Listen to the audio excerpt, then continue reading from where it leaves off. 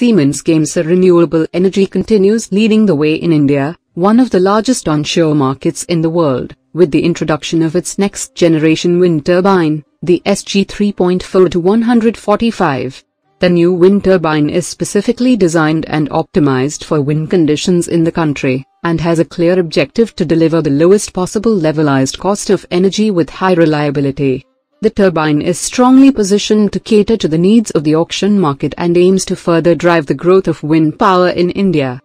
The new wind turbine is an extension of the Siemens Gamesa 3.x platform, of which the company has installed more than 3 gigawatts globally, and will be manufactured in its facilities in India starting in early 2021. The new model has been upgraded with the 145-meter rotor of the Siemens Gamesa 4.x platform thanks to its modularity, increasing the swept area by 41% and the ape by 48%, compared to the previous SG 2.2 to 122.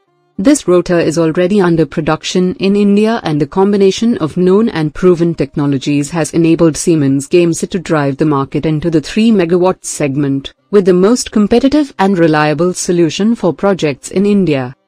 The SG 3.4 to 145 stands 127.5 meter tall, with a blade tip height of 200 meter, which helps it to maximize wind potential at every site.